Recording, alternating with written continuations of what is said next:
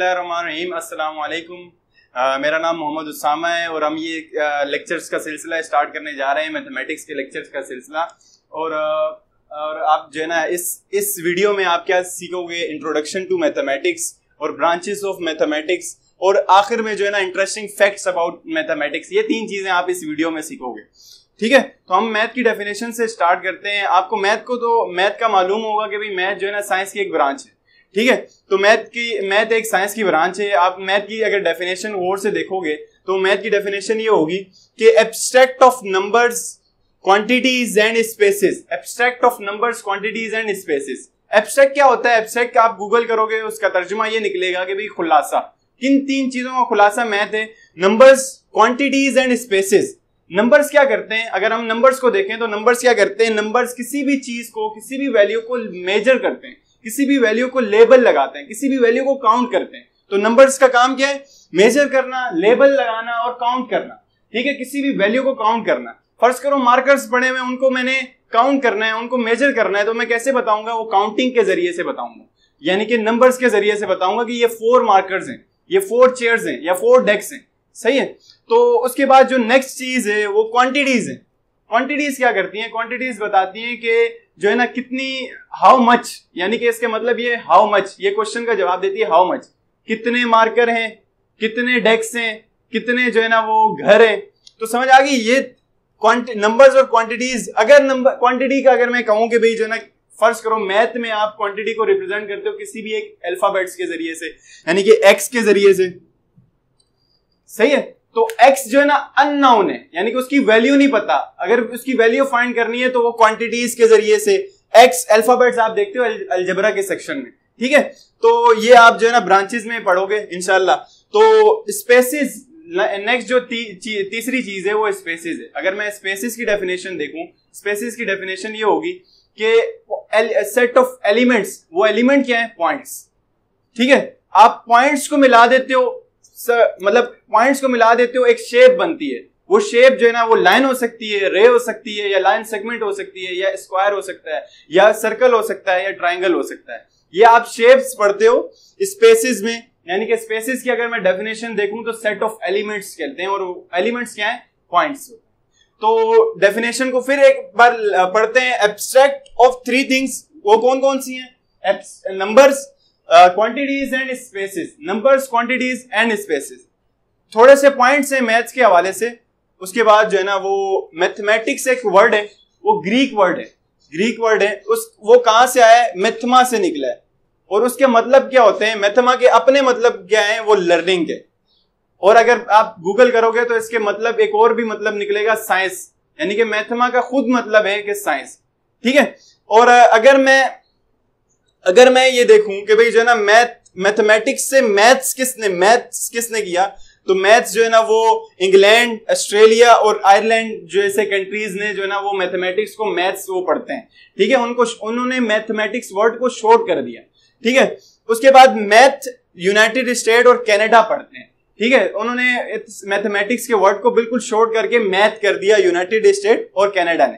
ठीक है, उसके बाद math is a universal language इसका मतलब क्या है? इसका मतलब ये कि आप जो है ना, मैथ, पाकिस्तान में जो मैथ पढ़ रहे हो, चार चेयर जमा हो गई, दो चेयर से तो सिक्स चेयर हैं। ये ये आप जो पढ़ रहे हो पाकिस्तान में, ये आप जाके यूनाइटेड स्टेट में भी पढ़ोगे तो यही चीज़ पढ़ोगे। यानी कि यूनिवर्सल लैंग्वेज है। वहाँ जाके कोई डिफरेंट लैंग्वेज नहीं होगी। वहाँ जाके कोई आप, कोई डिफरेंट चीज़ नहीं पढ़ोगे। ठीक है? तो सेम हर आप दुनिया में देखते हो तो हर चीज़ जो है ना, वो मैथ मैथ की जबान सेम हो आप किसी भी कंट्री में चले जाओ। ठीक है? वैसे इसलिए इसको यूनिवर्सल लैंग्वेज कहते हैं। इसके बाद जो है ना फादर ऑफ़ मैथमेटिक्स कहते हैं अर्चिमेडस को। अर्चिमेडस जो मैथमेटिशियन uh, थे उन उन्हें जो है ना फादर ऑफ़ मैथमेटिक्स कहा जाता है। और उसके बाद जो है ना 14 अक्टूबर यानी कि 14 अक्टूबर सेलिब्रेट की जाती है वर्ल्ड वर्ल्ड जो है ना मैथ्स डे के। मैथ का दिन मनाया जाता है 14 अक्टूबर को। तो ये मैथ का थोड़ा सा ना थोड़ी सी इंट्रोडक्शन थी। मैथ का इंट्रोडक्शन था। ठीक है? इसके बाद जो है ना, अगर किसी मैथ जो है ना सब्जेक्ट में बहुत ज़्यादा इन्फॉर्मेशन आ जाए तो उसकी ब्रांचेस पढ़ी जाती है, जो कि हम जो है ना नेक्स्ट पार्ट में। तो स्टूडेंट्स आपने जो है ना, पिछले, इस वीडियो के पिछले पार्ट में इंट्रोडक्शन टू मैथमेटिक्स पढ़ा था, थोड़ा सा शॉर्ट इंट्रोडक्शन पढ़ा था मैथ के हवाले से। तो उसको अगर ज़्यादा समझना है तो उसकी ब्रांचेस मैथमेटिक्स की ब्रांचेस समझनी पड़ेगी। और जो नाइन्थ के जो मैट्रिक के कोर्स के हवाले से जो ब्रांचेस हमने थो, थोड़ी सी पढ़नी है वो कुछ यूँ है ब्रांचेस जो पहली ब्रांच हम जो पढ़ते हैं उसका नाम होता है अरिथमेटिक और अरिथमेटिक क्या करता है? अरिथमेटिक जो है ना वो उसकी डेफिनेशन क्या है? नंबर्स नंबर्स एक से लेकर जो नेचुरल नंबर है one two three four five six जो नेचुरल नंबर्स हैं उनको, उनके साथ फोर फंडामेंटल ऑपरेशंस लगा देने। फोर फंडामेंटल ऑपरेशंस ऑपरेशंस क्या है? वो आप ये तो आपको पता होगा plus minus multiply and divide ये आप, जहाँ जहाँ आपको ये फंडामेंटल ऑपरेशंस नंबर्स के साथ लगते हुए नज़र आ रहे हैं तो ये क्या है? ये अरिथमेटिक की एक ब्रांच है। ये मैथ की एक ब्रांच अरिथमेटिक है। ठीक है? तो इसमें यही काम है। अगर फ़र्स्ट करो two plus two is equal to four two multiply by two is equal to four, या four multiply by two is equal to eight, ये आप जो पढ़ रहे हो, ये अरिथमेटिक की ब्रांच है, यानी कि एट डिवाइड बाय टेन और two divide by three one divide by two यानी कि आप माइनस कर रहे हो टेन माइनस फाइव तो ये अरिथमेटिक की ब्रांच है, आप फोर ऑपरेशंस को नंबर्स के साथ लगा रहे हो और उसको सोल्व कर रहे हो, उसकी इक्वेशंस बना रहे हो तो ये अरिथमेटिक की ब्रांच है ये अरिथमेटिक है। तो अल्जबरा अल्जबरा में आप क्या पढ़ते हो? रिप्रेजेंटिंग नंबर्स विद अल्फाबेट्स आप मैथ और अरिथमेटिक और अल्जबरा में एक चीज़ का फ़र्क देते हो, देखते हो कि भाई अल्जबरा में आपको अल्फाबेट्स नज़र आ रहे होते हैं। A B C D X Y Z आपको अल्फाबेट्स नज़र आ रहे होंगे। वो अल्फाबेट्स क्या होते हैं अल्जबरा में? उन्हें कहते हैं वेरिएबल्स उन्हें कहते हैं वेरिएबल्स और वेरिएबल्स का मतलब होता है कि भाई, कोई ना कोई यहाँ पर वैल्यू आ रही है। क्वांटिटी मैंने जैसे डेफिनेशन में बताया आपको डेफिनेशन में क्या था? एक था नंबर एब्स्ट्रैक्ट तीन चीज़ों का था। एक था नंबर और क्वांटिटीज एंड स्पेसेस अब क्वांटिटी मैंने कहा था अनकाउंटेबल या अननाउन क्वांटिटी आप रिप्रेजेंट कैसे करोगे? आप अननाउन क्वांटिटी आप अल्जबरा के मदद से, यानी कि अल्फाबेट्स की मदद से आप रिप्रेजेंट करोगे। ए से लेकर जेड तक कोई भी अल्फ़ाबेट आप उसकी जगह लगा सकते हो। अगर आपको क्वांटिटी वो मालूम नहीं है। ठीक है? तो अल्जबरा क्या करता है? कोई भी नंबर हो। फ़र्स्ट को एक एक्टिविटी करते हैं। वो एक्टिविटी क्या होती है? क्लास में हम कहते हैं कि भाई, बेटा, कोई भी नंबर सोचें। वो नंबर जो है ना, वो हो सकता है किसी ने एक फाइव सोचा हो, किसी ने टेन सोचा हो, किसी ने ट्वेल्व सोचा हो, मैंने इलेवन सोचा हो। अब डिफरेंट नंबर्स को एक अल्फाबेट्स के ज़रिए से रिप्रेजेंट करना है। तो कैसे करेंगे? मैथ की ब्यूटी है, वो वेरिएबल के ज़रिए से आप करते हो, जिन्हें हम अल्फाबेट्स कहते हैं ए से स्मॉल लेटर में ए से लेकर जेड तक। ठीक है? तो ये ये हो गई अलजबरा मैथ की ब्रांच अब उसके बाद जो नेक्स्ट ब्रांच हम पढ़ते हैं, वो है कैलकुलस अब कैलकुलस क्या है? आपको ये पता है कि दुनिया में हर चीज़ जो है ना, वो चेंज हो रही है। कोई बड़ा हो रहा है, कोई जो ना, कोई वैल्यू जो ना, कोई क्वांटिटी बड़ी हो रही है और कोई क्वांटिटी छोटी हो रही है, या चेंज तो आता जा रहा है। यानी कि अब कैलकुलस में आप मैथ की ब्रांच कैलकुलस में आप दो दो टाइप के चेंज आप पढ़ते हो। एक डिफरेंशियल चेंज होता है और एक इंटीग्रल चेंज होता है। डिफरेंशियल चेंज क्या होता है? फ़र्स्ट करो, एक एग्जांपल ले लेते हैं। एक मुर्गी है जो अंडा देती है, यानी कि आपकी क्या हुआ? डिफ्रेंशिएट हुआ अंडा मुर्गी के ज़रिए से। ठीक है, अब मुर्गी, अब जो है ना नेक्स्ट जो प्रोसेस होगा, अंडा अगर चूजा बनता है तो ये इंटीग्रेट हुआ है। दोबारा वही चीज़ बन गई है। तो डिफ्रेंशिएट दो चेंज है डिफरेंशियल चेंज और एक इंटीग्रल चेंज ठीक है? तो ये मैथ की ब्रांच में आप पढ़ते हो, ठीक है? इसको हम आगे जो है ना, इंशाल्लाह उसको कंटिन्यू करेंगे अगली वीडियोस में।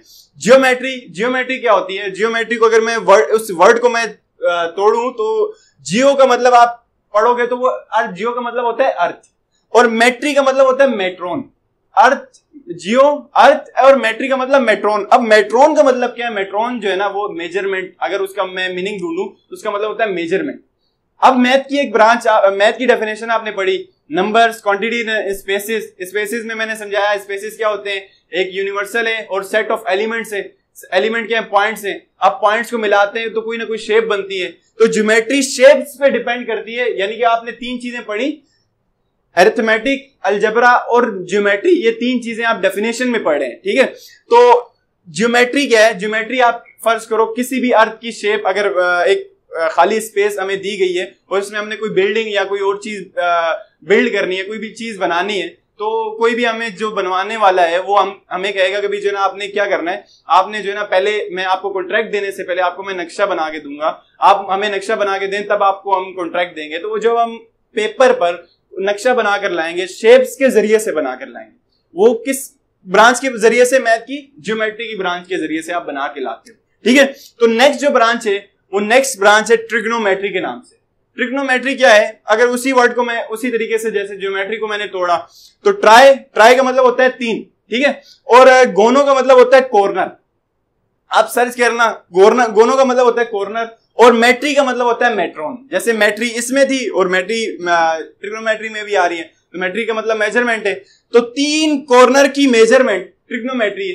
एक फ़र्ज़ करो, मैं वर्ड को तोड़कर, मैं उसके मीनिंग बता रहा हूँ। तो ये बन रही है तीन कॉर्नर की मेज़रमेंट जो है ट्रिग्नोमेट्री में। अब ये मैं गौर से देखूँ कि ये मेट्री तीन कॉर्नर वाली शेप हमें नज़र कहाँ आती है?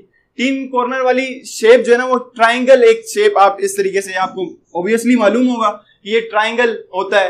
यानी कि तीन साइड्स होंगी, तीन एंगल्स होंगे और तीन जो है ना, वो कॉर्नर्स होंगे। तो ये शेप जो है ना ट्राइंगल अगर ट्राइंगल के बारे में आप मेज़रमेंट कर रहे हैं तो वो ट्रिग्नोमेट्री के सेक्शन में आप करते हैं, जो कि ये मैथ की ब्रांचेस है। ठीक है? तो फ्रेंड्स लास्ट में आपको कुछ फैक्ट्स बताने मैथ के हवाले से। ये फैक्ट इसलिए फाइंड किया फैक्ट्स इसलिए मालूम होने चाहिए कि भाई अगर किसी फ़ील्ड में आपने अपना इंटरेस्ट बिल्डअप करना है, अपना इंटरेस्ट बनाना है तो आप उसकी, उस फ़ील्ड के, उस सब्जेक्ट के जो है ना फैक्ट्स आप जो है ना वो पढ़ना स्टार्ट कर दें। तो इसके कुछ फैक्ट्स हैं। तो पहला जो फैक्ट ये है कि भाई every odd number has E in it अब फ़र्स्ट करो, मैं देखता हूँ।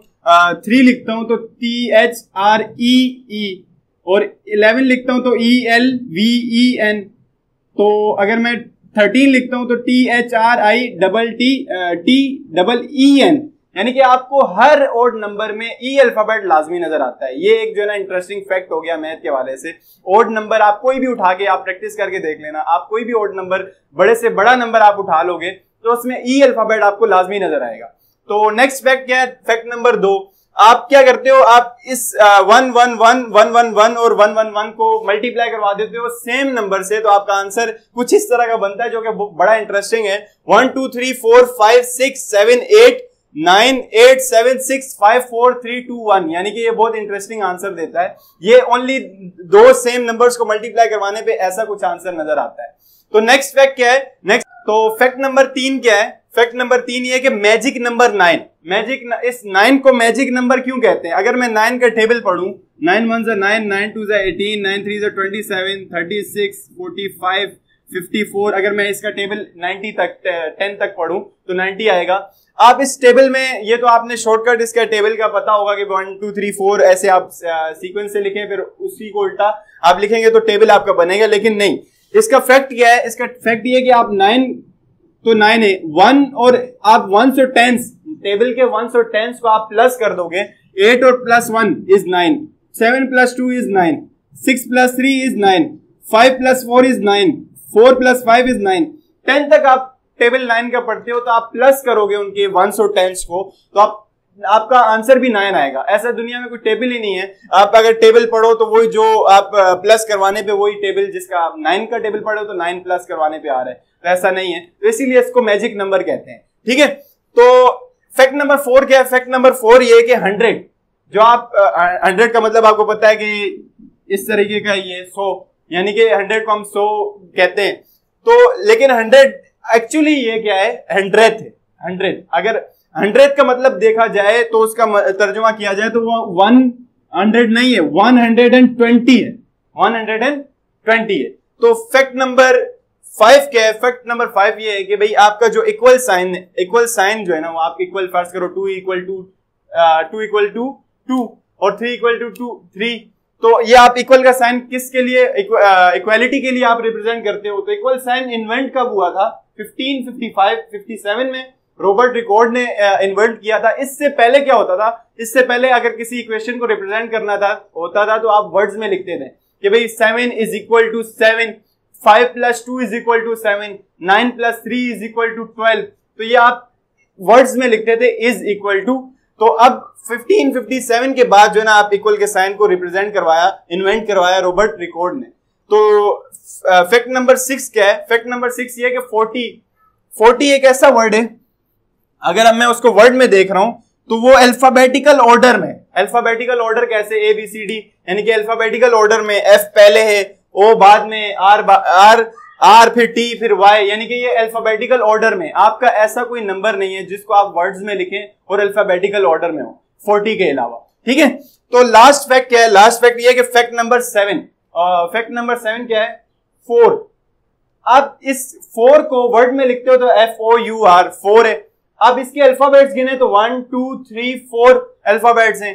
तो ये अब कोई भी और भी नंबर उठा के देख लें। वन वन को हम अगर वर्ड्स में लिखते हैं तो O N E one one के एक अल्फ़ाबेट कितने? एक, दो, तीन। तीन अल्फ़ाबेट हैं। और टू के अल्फ़ाबेट कितने? तीन हैं। और थ्री के अल्फ़ाबेट हैं चार। और फोर के तो फोर ही हैं। फोर ऐसा नंबर है जो अल्फाबेटिकल अगर उसके अल्फाबेट्स गिने जाएँ तो उतने ही अल्फाबेट्स हैं जितने वो खुद है, यानी कि फोर ठीक है? तो लास्ट फैक्ट इसका ये है लास्ट फैक्ट एक बोनस फैक्ट समझ लीजिए। वो ये है कि अगर आप इसका जवाब दे दें one plus one is equal to obviously हमें पता है कि टू होता है। और इस, ये है जितना आसान लग रहा है। ये एक सौ बासठ पेजेस की एक किताब है Principia Mathematics Principia Mathematics you can Google अब इसका इसका वन प्लस वन का आंसर फाइंड करने के लिए एक सौ बासठ पेजेस की किताब लिखी है एक बंदे ने, और उसका नाम क्या है? Principia mathematics